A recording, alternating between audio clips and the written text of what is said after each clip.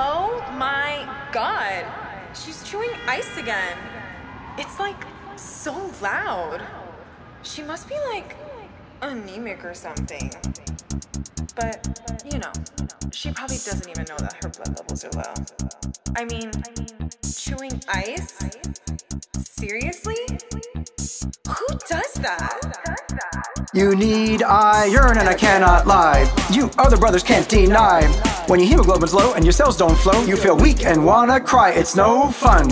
Crunching tubes ain't cute. It's a symptom, not a substitute.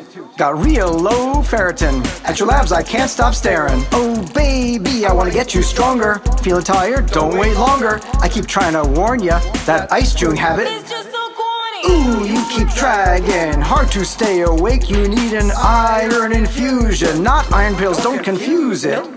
I see you panting, out of breath just standing. It's a threat.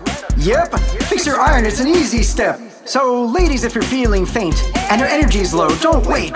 Call your doctor up, get your ferritin test, let Fem handle the rest. So, fellas, fellas, does your girl feel drained and stuck?